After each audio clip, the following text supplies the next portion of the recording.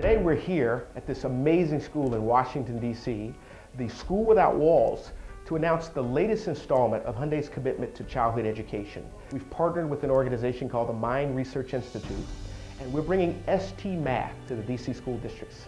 This program is a program that's designed to help young people develop their skill set in mathematics education. We believe that math is a core skill set that children should have that makes them stronger learners over their lifetime. About three years ago, we brought Mind Research Institute into the district and brought ST Math with it. It has provided uh, support for students to learn math in an engaging, exciting, and challenging way. The ST stands for spatial temporal.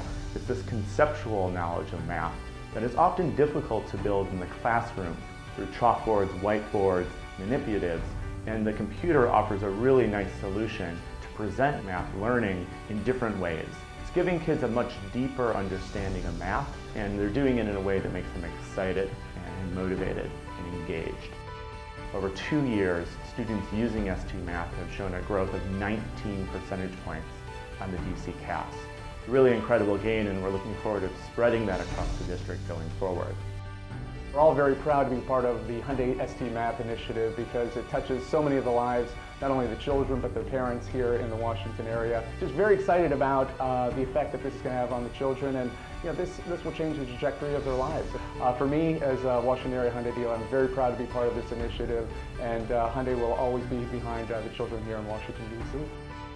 This program will bring 10 schools in D.C.